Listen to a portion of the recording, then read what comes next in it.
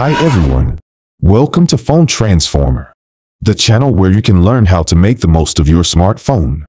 In today's video, I'm going to show you how to hide messages on Android without deleting them.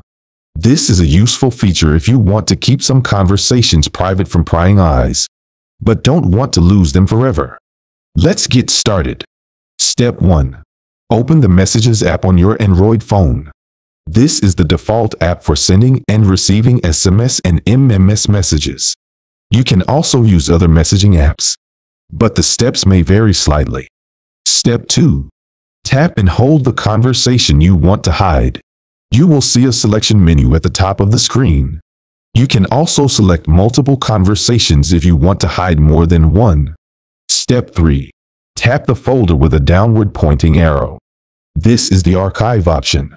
It will move the selected conversations to a hidden folder, where they will not appear in your main inbox.